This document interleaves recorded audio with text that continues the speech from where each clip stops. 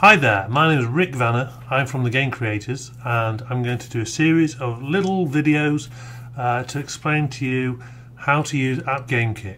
Uh, you're going to learn from the very, very start. You don't need any programming knowledge whatsoever.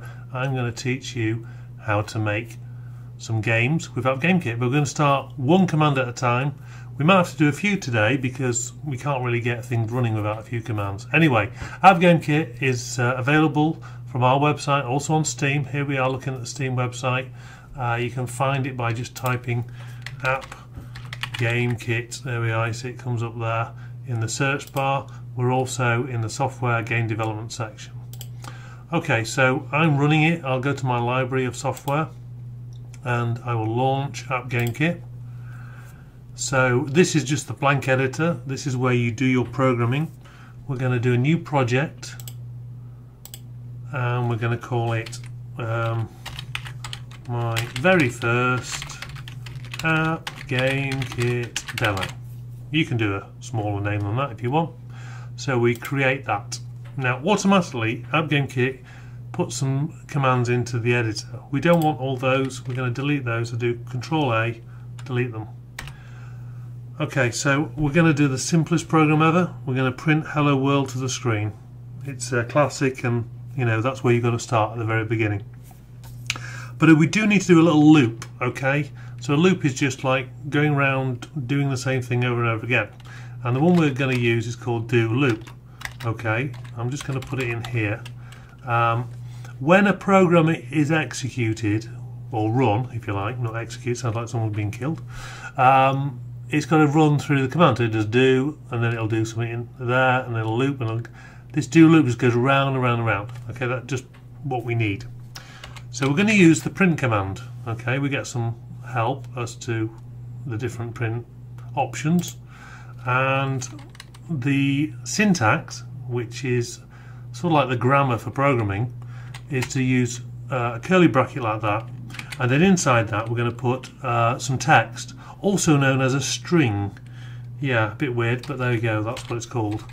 Hello world we'll write and we'll close that with um, quotes and that defines the string of hello world between the two quotes and we close the bracket. That's what we want to print to the screen. So we can't just run that because actually uh, AGK when it runs the app or the game whatever you're doing uh, the screen needs to be synchronized. It needs to AGK needs to be told to draw the screen. And we do that with what's called the sync command okay? We just put that in and every hopefully 60 frames per second uh, hello world will be printed to the screen. Uh, okay let's now compile and run this AGK program okay? So the program is do print hello world sync loop and go round and round and round like that so we run which will actually compile this program and uh, run it onto Windows Okay, there we go. It's running. We've got Hello World. Yes, we've done our first program. Amazing. Okay, okay, it's not the world's best program, but it's a start. We close that down. Now, let's do do something else. We're going to put another loop inside the do loop. Okay, this one's called a for next loop. Okay, I'm going to type it out. For i equals 1 to 10. Whoa, sounds very confusing, doesn't it? Okay, what is i? Um, I is a variable, okay, so it's a bit like at school we did algebra. Um, I can hold a value, and we're saying I is going to equal to 1 at the very start of this loop, okay, and um, at the end of there, we're going to do next I. We'll just tab in the print. So it's going to go around this loop 10 times. So I equals 1, it prints hello world, next I, makes the loop go back to the for.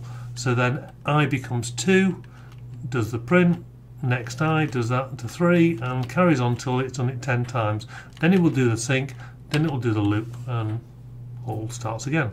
So let's run that and we should see 10 hello worlds. There we go. Magic, eh?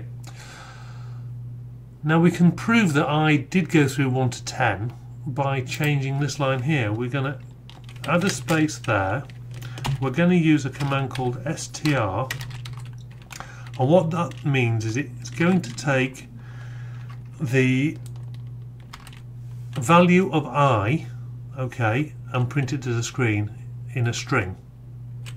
Just believe me. Okay, let's run that. And you can see that i was 1, then it became 2, 3, 4, 5, 6, 7, 8, 9, 10. Alright.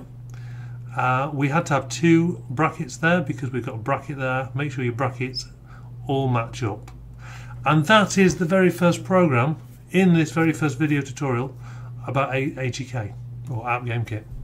And um, yeah, you, if you get the trial version, should be able to write that program out and do the same, compile and run. Okay, so that's it. I'm going to do as many of these videos as I can, as frequently as I can. And before you know it, you're going to see sprites on the screen, you're going to hear sounds playing. It's going to be very exciting. Um, thanks for joining us. Uh, see you in the next video and subscribe uh, if you've got a second to do that. Okay, bye.